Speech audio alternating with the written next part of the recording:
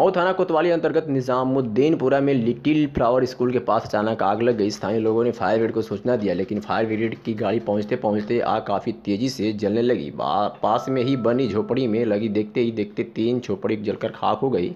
बड़ी मुस्तक के बाद फायर ब्रिगेड के लोगों ने आग पर काबू पाया। हाँ। ये आग अचानक लग गया लगा दिया होगा लग गई होगी। और ये तीन झोपड़ी आती है कि साथ में चल सारा रोज इनको सारे सारे सामान थे। वो भी सब जल के ही खाक हो गए? तो थोड़ी देर लेट आई है। कितने देर बाद आई थी? करीब आई है बीस मिनट बाद। एक घंटा से ऊपर हो गया अब तक लाख पर काबू नहीं पा गया जी। क्या लगता है ये? लोग लगे हुए हैं कर्मचारी तो लगे हुए हैं।